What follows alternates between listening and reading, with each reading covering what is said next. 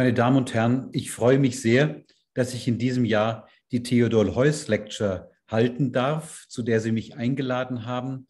Ähm, ich wäre gerne bei Ihnen jetzt in Stuttgart. Das bin ich leider nicht. Ich äh, trage Ihnen virtuell vor aus dem häuslichen Arbeitszimmer, da ich mich derzeit aus Gründen, die Sie sich vorstellen können, sie hängen natürlich mit der Pandemie zusammen, in einer häuslichen Quarantäne befinde und nicht reisefähig bin und äh, ja, deshalb auf diesem Wege zu Ihnen spreche. Ich freue mich sehr über die Einladung durch die äh, Bundespräsident Theodor Heuss Stiftung und die Universität Stuttgart. Und wie gesagt, ich wäre sehr gerne jetzt bei Ihnen beziehungsweise bei der Hybridveranstaltung, die eigentlich geplant war. Aber wir sind ja quasi mitten im Thema, wenn die Pandemie es ist, die das gerade verhindert. Mitten im Thema deshalb, weil das Thema meiner Vorlesung lautet Offenheit, Freiheit als Form der Gesellschaft. Es geht um Freiheit und das ist eines der wichtigsten Themen,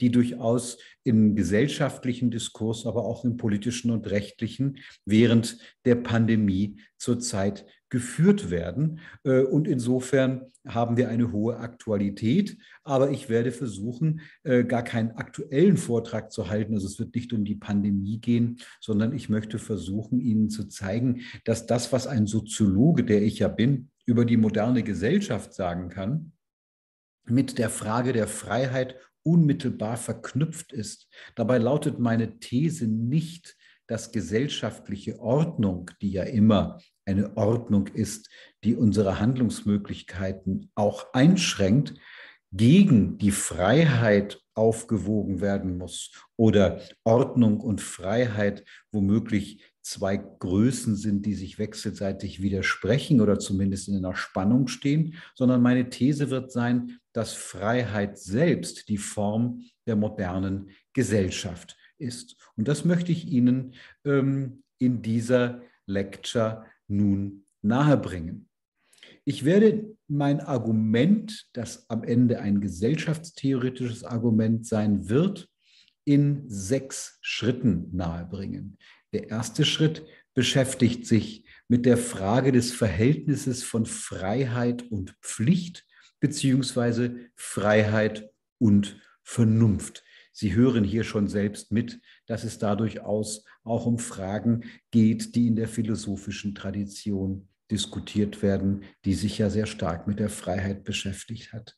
Der zweite Punkt wird sich beschäftigen mit dem Verhältnis von Freiheit und einer Welt, die schon da ist. Also die Welt ist da, wir werden in diese Welt hineingeboren, das ist nicht ein Akt unserer eigenen Freiheit. Und wie verhält sich eigentlich die Existenz, man könnte sagen, die Faktizität der Welt mit der Möglichkeit von Freiheit? Mein dritter Punkt wird die Frage beantworten, ob Freiheitsgrade und Ordnungsbildung eigentlich zusammenzudenken sind. Die Grundidee wird darin bestehen, dass Ordnungsbildung womöglich sogar die Voraussetzung für angemessene Freiheitsgrade ist. Und der vierte Punkt wird sich mit einem Begriff beschäftigen, der in der Moderne außerordentlich wichtig ist, nämlich mit dem Kommunikationsbegriff. Wie verhält sich eigentlich Kommunikation als ein Medium der Freiheit, wie ich es gleich argumentieren werde, mit Ordnung. Und die beiden letzten Punkte, Nummer 5 und Nummer 6, werden das gesellschaftstheoretische Argument stark machen, das ich schon angedeutet habe. Fünftens heißt Offenheit und der sechste Punkt wird Freiheit als gesellschaftliche Form beschreiben. Ich beginne, wie angekündigt, mit der Frage des Verhältnisses von Freiheit und Pflicht beziehungsweise Freiheit und Vernunft. Und ich beginne mit einem kleinen, sehr einfachen Experiment, äh, das all diejenigen unter Ihnen oder unter uns sehr gut nachvollziehen können werden, die Kinder haben. Also Kinder sind Menschen, für die wir verantwortlich sind als Erwachsene, als Eltern. Und wir haben oft das Problem, zu entscheiden, wann wir Kinder in ihrem Alltagsverhalten in die Freiheit entlassen. Ich habe absichtlich so formuliert, dass die Freiheit hier offensichtlich etwas ist, was aus Verantwortungsgründen überlassen werden muss. Das Experiment lautet folgendermaßen. Denken Sie darüber nach, wann Sie ein Kind alleine auf die Straße gehen lassen und darauf vertrauen, dass das Kind nicht einfach auf die Straße rennt, sondern zunächst nach links und dann nach rechts guckt und erst dann über die Straße rennt oder geht, wenn kein Verkehrsteilnehmer, Auto, Fahrrad oder ähnliches zu sehen ist.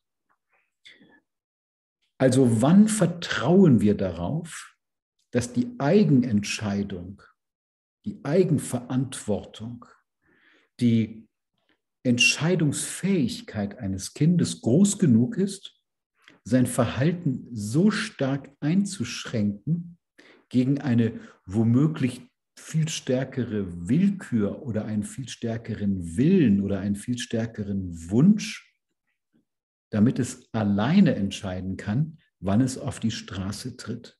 Sie mögen sagen, das ist ein sehr simples Beispiel, aber es ist kein simples Beispiel, weil es tatsächlich zum einen sehr erhebliche Folgen haben kann, zum anderen genau abbildet, worum es eigentlich geht, wenn wir über Freiheit sprechen im Hinblick auf Pflicht und Vernunft.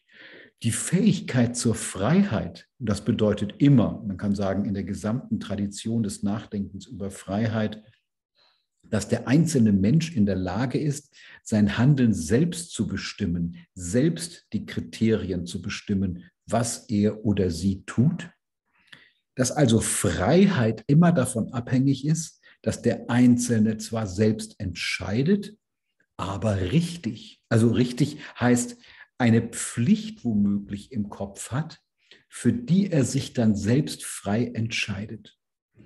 Und was ich hier in diesem kleinen Beispiel beschrieben habe, ist insofern sehr lebensnah, als wir solche Situationen ja kennen, dass wir eigentlich erst dann ein gutes Gefühl haben, Kindern ihre Freiheit zu lassen, wenn wir einigermaßen vertrauen, dass ihre Entscheidungen so verantwortlich sind, dass sie sich nicht selbst gefährden oder andere gefährden.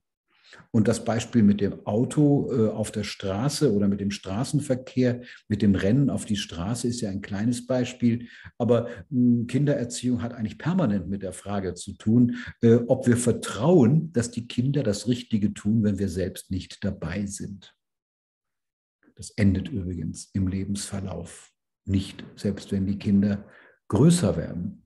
Das bedeutet übrigens nicht, dass von vornherein bereits festgelegt ist, was das richtige Verhalten ist, sondern wir billigen Menschen Freiheit oder freiheitliche, selbstbestimmte Entscheidungen zu, wenn wir das Vertrauen haben, dass diese Entscheidung durch den Entscheider selbst auch verantwortet und getragen werden kann.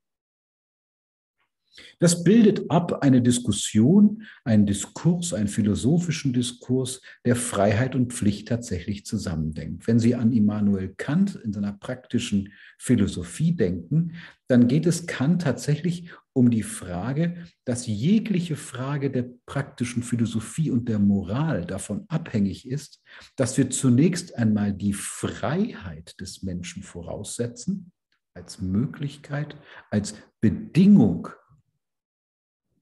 um überhaupt so etwas wie Moral denken zu können. Wir können nur das moralisch Richtige tun, weil wir auch etwas anderes tun könnten. Und das ist die Herausforderung unserer Freiheit, das Vernünftige zu tun. Kant sagt, frei sind wir nur, wenn wir aus Vernunftgründen handeln. Vielleicht würden wir das heute nicht mehr so formulieren, sondern sagen, frei sind wir vor allem dann, wenn wir zu den Kriterien stehen können, die die Maxime unseres Handelns ausgemacht hat.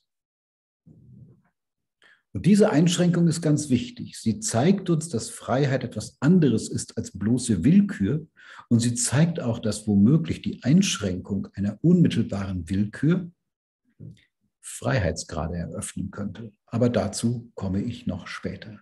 Zunächst zu meinem zweiten Punkt, der da heißt Freiheit und Welt, also das Verhältnis einer Freiheit zu einer Welt, die bereits existiert. Niklas Luhmann hat einmal die schöne Frage gestellt, wie können wir eigentlich Freiheit in eine Welt denken, die schon da ist? Wenn ich an mich selbst denke, dann ist vieles von dem, was in meinem Leben stattfindet, das Ergebnis meiner eigenen freien Entscheidung. Zum Beispiel die Berufswahl oder sogar die Frage, was ich ästhetisch schön finde oder wie ich an Gott oder die Götter glaube. Aber vieles auch nicht, zum Beispiel meine Existenz. Ich bin in Tübingen geboren, in eine Familie hinein, die ich mir nicht ausgesucht habe. Tübingen ist gar nicht weit von Stuttgart entfernt, also näher an Stuttgart, als ich jetzt bin. Diese Bedingung meiner Existenz ist nicht das Ergebnis einer freien Entscheidung, sondern ich werde in eine Welt hineingeboren, die schon so ist, wie sie ist. Ich habe eine Muttersprache, die ich mir nicht selbst ausgesucht habe. Ich bin in eine Konfession hineingeboren, die ich mich, mir nicht selbst ausgesucht habe. Und ich bin mit gesellschaftlichen Chancen ausgestattet worden, die ich nicht selbst durch eigene Entscheidung erworben habe. Ich bin zum Beispiel in eine vergleichsweise bildungsnahe Familie hineingeboren, was die Wahrscheinlichkeit erhöht hat, dass ich einen Beruf, wie ich ihn jetzt habe, auch ergreifen konnte. Und ich bin auch in eine Familie hineingeboren, die ökonomisch so stabil war, dass ich womöglich eine riskantere Karriere in Angriff genommen habe, als das womöglich andere tun, die früher in ihrem Leben schon kennen, dass ähm, es durchaus ökonomische Restriktionen gibt. Das ist für einen Soziologen eine Selbstverständlichkeit, das so zu beschreiben. Aber man sieht gewissermaßen, dass vieles von dem, was uns ausmacht, nicht das Ergebnis unserer freien Entscheidung war, dass wir aber trotzdem in einer Welt leben, in der wir Entscheidungsmöglichkeiten haben. Also Entscheidungsmöglichkeiten heißt, das, was ich nicht frei entschieden habe im Hinblick auf mein eigenes Leben, hat mich nicht vollständig determiniert, sondern alles, was ich in diesem Leben mache, wird mir letztlich als Entscheidung zugerechnet. Ich ähm, versuche das meinen Studierenden an einem Beispiel immer festzumachen, indem man, äh, indem sie etwa sich vorstellen sollten, dass sie mit einem Aufnahmegerät für die empirische Sozialforschung, also Interviews zu führen, mit einer Zeitmaschine ins Mittelalter versetzt werden und dort äh, zum Beispiel einen Bauern fragen sollen, wann er sich entschieden hat, ein Bauer zu werden. Und diese Frage würde womöglich von diesem Bauern gar nicht beantwortet werden können, weil er sich niemals entschieden hat, Bauer zu werden, sondern es ist relativ klar durch ähm, das Haus, in das er geboren ist, durch den, die Position in der Geschwisterreihe, äh, je nach äh, Erbrecht in den unterschiedlichen Regionen der damaligen Zeit natürlich sehr unterschiedlich äh, organisiert oder wo auch, was auch immer an, an sozusagen Strukturen bereits vorgegeben war, sein Leben bereits so stark festgelegt ist, dass es relativ wenige Entscheidungen gibt, die ihm selbst zugerechnet werden. Heute werden uns sogar die Dinge zugerechnet, die wir gar nicht selbst wirklich entscheiden konnten. Wir müssen zum Beispiel in der Lage sein, in dieser Welt, die es schon gibt und die viel vorgegeben hat, unser Leben als Biografie so zu beschreiben, dass wir eine Logik darin sehen und da eine Entscheidungskette beschreiben können, die ja Ausdruck sowohl unserer Freiheit ist, als auch der Restriktionen einer Welt, in der wir uns immer schon befinden. Das ist auch ein Hinweis darauf, dass wenn wir über Freiheit diskutieren, wir stets über den Rahmen diskutieren, innerhalb dessen Entscheidungen möglich sind. damit komme ich zu meinem dritten Punkt, wie sich Freiheitsgrade und Ordnung zueinander verhalten. Ich bin ein Systemtheoretiker. Die Systemtheorie ist eine interdisziplinäre oder besser transdisziplinäre Denkungsart, die sowohl in den Naturwissenschaften, etwa in der Biologie, äh, vorkommt, aber auch in den Neurowissenschaften, in ähm, der Bewusstseinstheorie und auch natürlich in der Theorie sozialer äh, Systeme, also mit, die sich mit Systemen beschäftigt, in denen Ordnungsbildung in der Zeit stattfindet. Also in denen sich Ordnung dadurch aufbaut, dass der Anschluss von Ereignissen zu Strukturen führt, die bestimmte Anschlüsse wahrscheinlicher machen und andere Anschlüsse unwahrscheinlicher machen. Die Freiheitsgrade in Systemen sind immer geringer als in ihrer Umwelt. Das heißt, ein System legt mehr oder weniger mit, man kann das mit stochastischen Modellen dann messen, äh, mit, mit bestimmten Wahrscheinlichkeiten fest, wie denn so etwas wie Ereignisreihen weitergehen. Also wenn wir etwa an die äh, Veranstaltung denken, wenn sie mit vielen Teilnehmerinnen und Teilnehmern in Stuttgart stattgefunden hätte, und nicht in der Form wie jetzt, dann wären wir in einem großen Hörsaal der Universität Stuttgart und würden dort in Stuhlreihen sitzen und darauf vertrauen, dass die Menschen, die da sind, weniger Handlungsmöglichkeiten in Anspruch nehmen, als sie in diesem Moment realisieren könnten. Also, dass sie sich nach zunächst einmal Gesprächen, wenn sie sich treffen, hinsetzen und in dem Moment ruhig werden, wenn derjenige, der die ähm, Veranstaltung eröffnet, nach vorne geht und begrüßt. Ne, sie kennen das, dass wir da Handlungskoordination unter vielen Menschen, die sich nicht kennen, die sich womöglich noch nie gesehen haben, die Fremde füreinander sind, ermöglichen. Ähm, dadurch alleine, dass in einem bestimmten Setting, in einem System, die Wahrscheinlichkeit bestimmter Handlungsformen eingeschränkt wird, was die Freiheitsgrade für bestimmte Tätigkeiten erhöht. Eine Vortragsveranstaltung würde sich ihrer eigenen Freiheit berauben, einen Vortrag zu hören, wenn die Menschen sich nicht an ein geradezu ungeschriebenes Skript halten würden und dieses Skript abarbeiten müssten, damit die Veranstaltung stattfinden kann. Systeme sind also immer weniger komplex und haben weniger Freiheitsgrade, als möglich wäre. Und diese Idee, dass Ordnung immer bedeutet, dass Handlungsmöglichkeiten eingeschränkt werden, ist etwas, was eine große Herausforderung für das Denken von Freiheit ist. Freiheit hat immer damit zu tun, wie wir Handlungsmöglichkeiten, alternative Handlungsmöglichkeiten in Situationen haben, die bereits vergleichsweise stark festgelegt sind. Dass es so ein anspruchsvolles Thema ist, über Freiheit nachzudenken, liegt unter anderem darin, dass wir durch die gesellschaftliche Entwicklung zu immer mehr Entscheidungen, man könnte fast sagen, gezwungen werden, zu freien Entscheidungen, die sich in einer Welt bewähren müssen. Also alles, was wir tun, wird uns zugerechnet.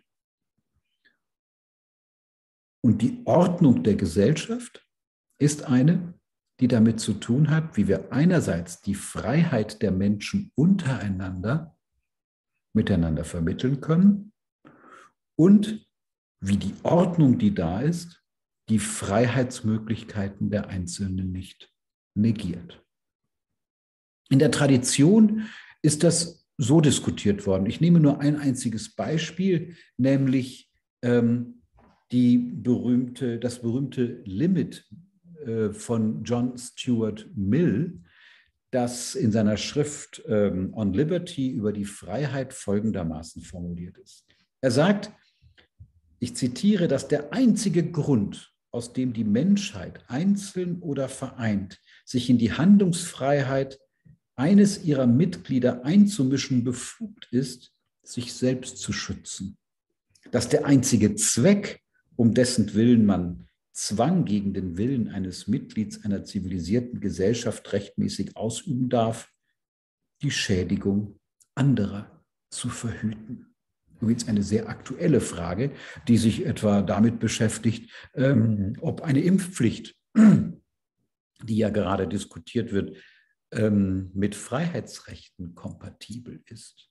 Ne, das ist eine Einschränkung individueller Freiheit, aber ermöglicht womöglich stärkere Freiheiten dadurch, dass eine Impfpflicht oder zumindest die Erhöhung der Impfquote dazu führt, dass Veranstaltungen nicht abgesagt werden müssen oder sogar verboten werden müssen. Also Sie sehen, und ich werde jetzt gar nicht einen Diskurs darüber halten, ob es sinnvoll ist, eine Impfpflicht zu machen oder nicht. Das ist nicht der Gegenstand dieses Vortrages, sondern die Spannung, in der diese Frage steht, ist die Spannung zwischen der individuellen Freiheit und der Auswirkung der individuellen Freiheit und ihrer Rechte auf die Freiheit anderer die wir übrigens voraussetzen müssen, damit soziale Ordnung möglich ist.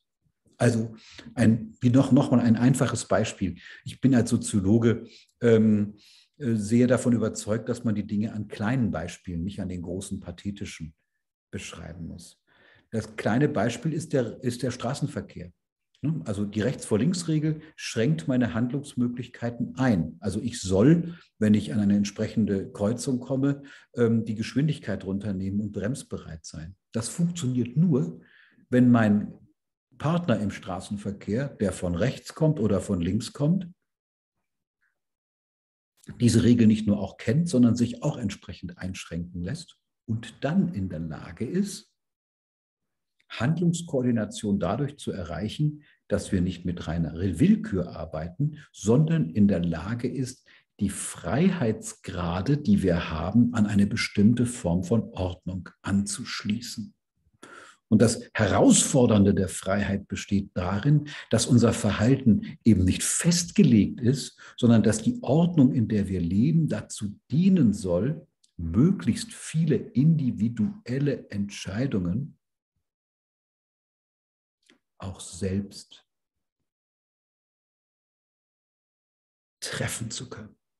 Das ist das Entscheidende. Und deshalb ist das Verhältnis von Freiheitsgraden und Ordnung ein kein triviales Verhältnis, weil viele unserer Ordnungsleistungen, die wir in der Gesellschaft haben, die Freiheitsgrade durchaus erhöhen können. Denken Sie zum Beispiel an parlamentarische Verfahren, die sehr stark in ihrer Verfahrensordnung eingeschränkt sind, um die Freiheit zu ermöglichen, dass jeder und jede, die zum Thema gehört werden müssen, auch gehört werden können. Oder denken Sie an Rechtsverfahren, deren Ordnung ja unter anderem darin besteht, alle Parteien an, einer, an einem Prozess beteiligen zu können? Oder denken Sie an so etwas wie eine akademische Ordnung, in der wir in der Lage sind, uns gegenseitig zuzuhören, damit sich bessere Argumente durchsetzen können und wir die Freiheit haben, den anderen angemessen zu kritisieren? Oder denken Sie an die Ordnung einer Vortragsveranstaltung, bei der wir unser Verhalten so einschränken müssen, dass die Vortragsveranstaltung tatsächlich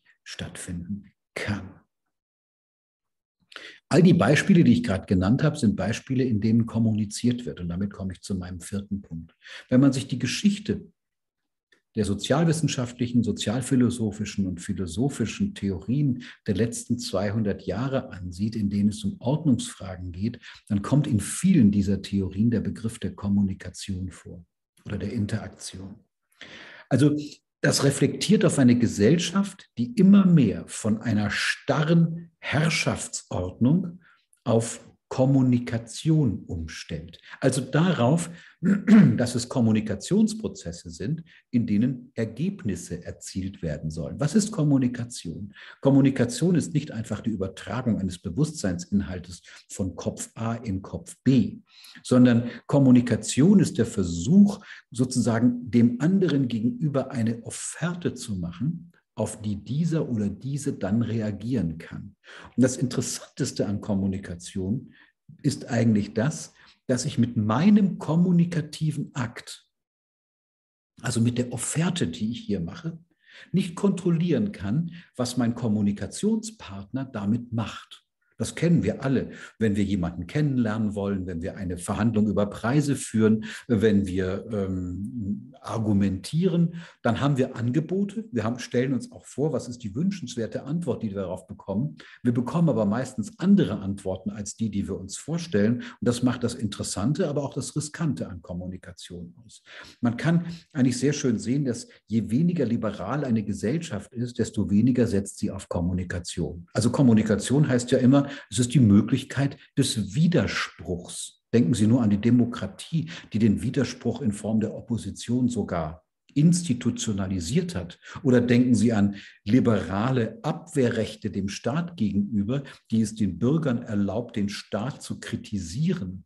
Oder denken Sie an die Möglichkeit in der Wissenschaft, sich wechselseitig zu kritisieren und zum besten Argument zu kommen. Und das Interessante an Kommunikation ist, dass sie einen, ein Mechanismus ist, der Prozesse in Gang setzt, bei denen niemand der eigentliche Kontrolleur ist. Also der eigentliche Kontrolleur heißt, man kann Kommunikationsprozesse nur eindeutig kontrollieren, wenn man vollständige Kontrolle über die Kommunikationspartner hat. Aber das hat in einer modernen Gesellschaft fast niemand, es sei denn, er übt Gewalt aus dass Diktaturen oder politische und religiöse Fundamentalismen vor allem moderne Erscheinungen sind, hängt genau damit zusammen. Da muss viel Energie aufgewandt werden, um Kommunikationsprozesse so stark einzugrenzen, dass sie ihren internen Freiheitsgrad, den sie haben, im Sinne einer kontingenten Anschlussfähigkeit von Kommunikation unterbinden können. Das heißt auf Deutsch, das Riskanteste ist, wenn Menschen frei kommunizieren, weil da niemand kontrollieren kann, was in dem Kommunikationsprozess herauskommt. Kommunikation ist ein Mechanismus der Offenheit. Und das ist es ja, worauf ich hinaus will. So heißt ja auch der Vortrag. Offenheit. Was bedeutet eigentlich Offenheit? Ich will Ihnen das ganz kurz erläutern an einem gesellschaftstheoretischen Argument. Das ist mein fünfter Punkt. Wir leben in einer funktional differenzierten Gesellschaft. Das heißt, es ist eine Gesellschaft, in der sich intern Logiken oder Funktionssysteme oder Funktionen, man könnte sagen, Problemlösungstools ausdifferenzieren, die durch ihre Ausdifferenzierung mehr oder weniger, zumindest was ihre Logik angeht, selbstständig werden. Also man kennt diese Emanzipationsprozesse. Politik muss keine religiösen Probleme mehr lösen. Ja, das Ökonomische hat sich von vielen anderen Tugendfragen letztlich abgelöst und muss vor allem ökonomische Probleme lösen. Wissenschaft muss keinem Herrscher dienen, sondern hat vor allem Wahrheitskriterien als das Kriterium für das Entscheidende. Das Rechtssystem, das muss für die, muss sozusagen eigene Regeln ausbilden und diese eigenen Regeln anwenden und selbst diejenigen, die die politische Macht haben, müssen zumindest in Demokratien sich an das gleiche Recht halten wie diejenigen, über die Macht ausgeübt wird. Und die Kunst produziert ganz eigene Kriterien darüber, was künstlerisch wertvoll oder schön ist. Und das wird nicht mehr religiös oder politisch oder wie auch immer festgelegt.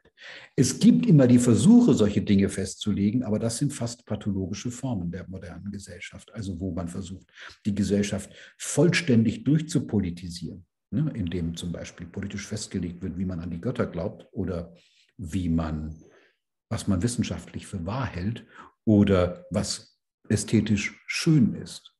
Oder die Pathologie könnte auch darin bestehen, dass aus allem eine ökonomische Frage gemacht wird. Also eine wissenschaftliche Theorie ist nicht dadurch gut, dass ich sie gut verkaufen kann, sondern sie muss einen Wahrheitsanspruch in irgendeiner Weise hm, äh, erfüllen können. Ähm, wir können auch übrigens nicht ähm, wissenschaftliche Fragen oder ästhetische Fragen demokratisieren. Ja, also nichts ist wissenschaftlich dadurch wahr, dass die Mehrheit es wahr findet, sondern man muss wissenschaftliche Gründe dafür finden. Das gilt übrigens äh, auch für ästhetische Fragen oder für religiöse Fragen. So, die Entkoppelung dieser Logiken hat einen Effekt, nämlich dass diese Logiken selbst eine Form von Eigenständigkeit gewinnen, in denen sie sehr, sehr kreativ werden können. Also die moderne Gesellschaft, wie wir sie kennen, seit 250 Jahren ungefähr, zeichnet sich ja dadurch aus, dass diese unterschiedlichen Teile sehr kreativ geworden sind. Sie sind sehr innovativ. Sie bringen immer wieder Neues hervor. Sie sind in der Lage, gewissermaßen ähm, ihre eigenen Grenzen dadurch zu sprengen, dass sie sich nur an ihre eigene Logik halten. Also wenn Sie Beispiele dafür haben wollen, denken Sie nur an die wissenschaftliche Entwicklung der Moderne. Ja, was wir alles wissenschaftlich und technisch ins Werk gesetzt haben, das ist ja nur deswegen möglich gewesen, weil Wissenschaft zunächst einmal nur wissenschaftliche Probleme lösen muss. Oder denken Sie an die Entwicklung der Demokratie. Die Demokratie ist eine Staatsform, eine Staatsform, die in der Lage ist, Innovationen dadurch zu erzeugen, dass der demokratische Prozess selbst ergebnisoffen ist, also eine Offenheit besitzt.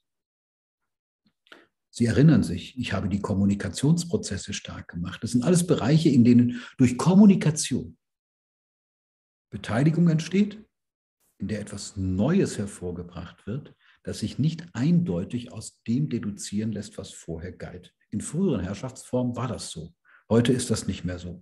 Was ich über die Wissenschaft gerade gesagt habe, gilt auch. Wissenschaftliche Prozesse, Forschung muss ergebnisoffen sein.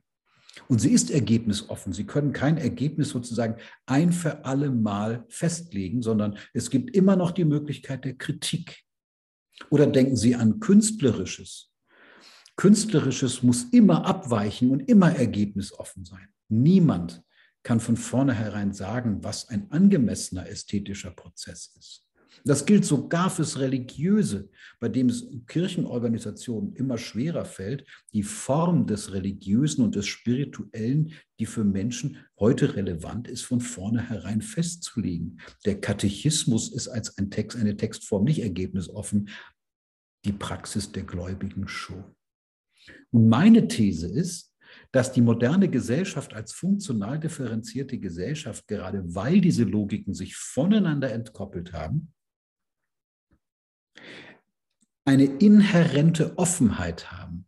Diese Gesellschaft lässt sich nicht festlegen auf eine Möglichkeit, sondern sie denkt immer in Alternativen und zwar vor allem innerhalb ihrer jeweiligen Funktionssysteme. Sie wäre nicht wissenschaftlich, ästhetisch, politisch, auch rechtlich, auch medial so kreativ, wenn sie Stoppregeln hätte, die die Ordnung so einschränken, dass von vornherein klar ist, was am Ende dabei rauskommt. Ich folge da übrigens äh, einer amerikanischen Ökonomin, Deirdre McCloskey, die ich sehr verehre, weil sie eine, eine sehr, sehr, sehr spannende Theorie geschrieben hat. Sie sagt, sie beschreibt es zunächst am ökonomischen. Was ist eigentlich das Besondere eines liberalen Marktes? Das Besondere eines liberalen Marktes ist nicht, dass er alle Probleme löst in der Gesellschaft. Das tut er nicht. Ne? Märkte produzieren auch Probleme. Aber das Besondere am Markt ist, dass wir dort immer wieder Verbesserungen finden, die nicht durch die erzeugt werden, die Anbieter sind, sondern durch die Nachfrage.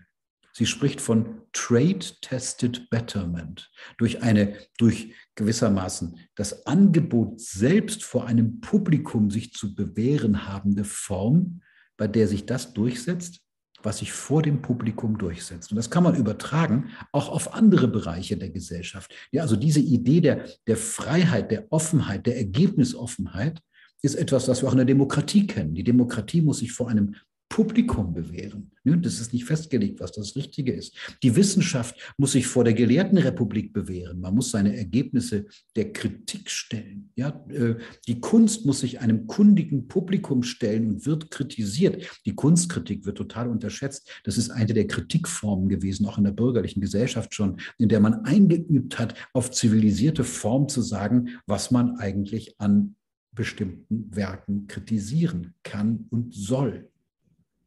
Und man kann das auch übertragen auf andere Bereiche, in denen man feststellen muss, dass die dass sozusagen die Anschlussfähigkeit durch Kommunikation vor allem an denen liegt, die an diese Geschichten anschließen. Dass diese Gesellschaft durch ihre Offenheit natürlich eine sehr anstrengende Gesellschaft ist, dass es zum Teil keine Stoppregeln gibt, dass es auch Pathologien in dieser Gesellschaft gibt, politische Pathologien in Form von Diktaturen, wissenschaftliche Pathologien in Form von Steuerungseuphorien, ja, sicherlich auch, ähm, sicherlich auch Pathologien in dem Sinne, äh, dass man die Teile nicht so richtig zusammenbekommt.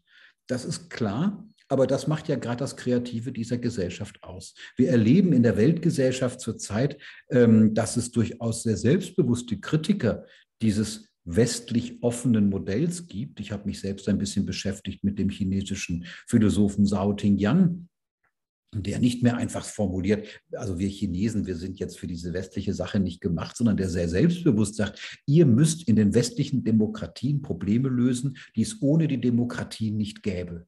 Und meine Antwort darauf ist, so ist es, dass wir diese Probleme haben, ergebnisoffen zu sein. Ermöglicht es erst in einer liberalen Gesellschaft, zu Lösungen zu kommen, die nicht vorher festgelegt gewesen sind. Während äh, dieser chinesische Philosoph sagt, wir brauchen eher so eine neokonfuzianische Idee eines Baldachins, in dem alles bereits so weit festgelegt ist, dass es vor allem Kommunikation einschränkt. Also Harmonie kann sie ja nur dadurch herstellen, dass man nicht kritisiert.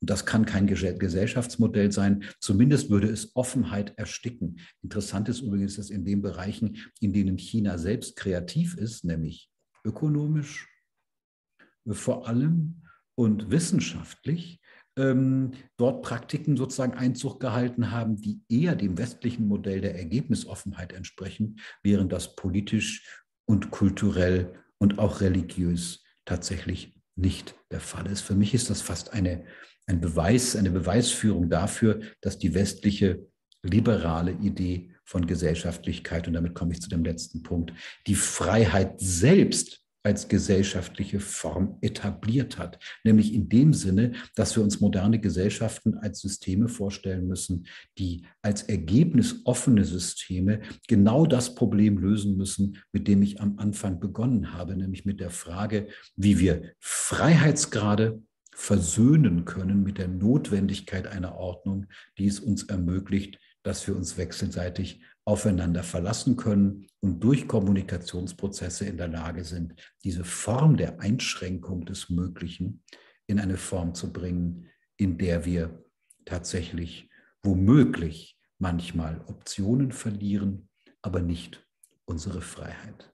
Ich danke Ihnen sehr für Ihre Aufmerksamkeit und bedanke mich noch einmal für die Einladung. Äh, das hat mir große Freude gemacht, dies vorzubereiten. Und ich hoffe, dass es Ihnen ein bisschen Freude gemacht hat, mir zuzuhören. Vielen Dank.